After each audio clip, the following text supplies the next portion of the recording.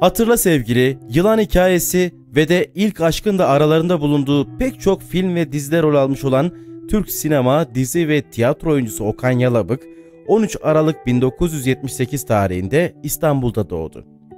Devlet Konservatuarı Tiyatro bölümünden mezun olan Yalabık, 1994 yılından itibaren pek çok amatör tiyatro topluluğuyla beraber sahne aldı.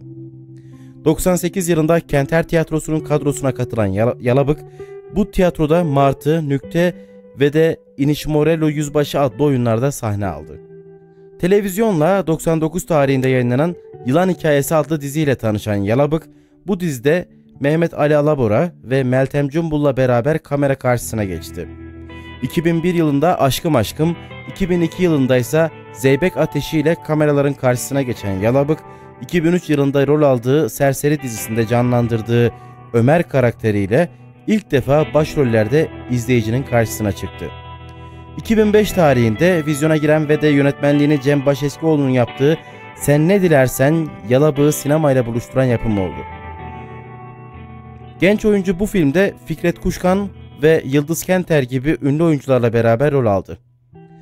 Arka Sokaklar, Çapkın gibi dizilerde ve de İlk Aşk gibi sinema filmlerinde rol alsa da Yalabık'ın kariyerinin dönüm noktası 2006-2008 yılları arasında yayınlanan Hatırla Sevgili oldu. Başrollerini Beren Saat ve Cansel Elçin'le beraber paylaştığı Hatırla Sevgili de Yalabık'ın canlandırdığı Necdet Aygün karakteri izleyiciler tarafından çok sevildi. 60'lı yılların sonları 70'li yılların başlarındaki sol öğrenci gruplarının mücadele, mücadelesi, siyasi durum ve de 12 Mart darbesi gibi yakın tarihimizin önemli olaylarına eğilen Hatırla Sevgili, kısa süre içerisinde ekranların en çok izlenilen dizisi oldu ve de 6 Haziran 2008 tarihinde yayınlanan final bölümüyle yayın hayatını sonlandırdı. Hatırla Sevgili'nin ardından Gül Sancısı ve de Bu Kalp Seni Unutur mu adlı yapımlarda rol alan Yalabık'ın rol aldığı son eserse 2010 yılının son günlerinde vizyona girmesi beklenen Av Mevsimi oldu. Yavuz Turgut Yavuz Turgul tarafından yönetilen ve polisiye tarzda olan bu filmde Yalabık, Cem Yılmaz ve Şener Şen'le beraber rol aldı.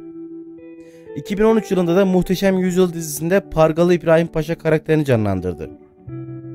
2018 yılında Netflix'in ilk Türk dizisi e, The Protector Hakan Muhafız filminde Çağatay Ulusoy'la birlikte kamera karşısına geçti. Yalabık 17 Aralık 2019 tarihinde Kanal D ekranlarında ilk bölümüyle yayın hayatına başlayacak olan Hekimoğlu dizisinde Orhan Yavuz karakterine hayat verecek.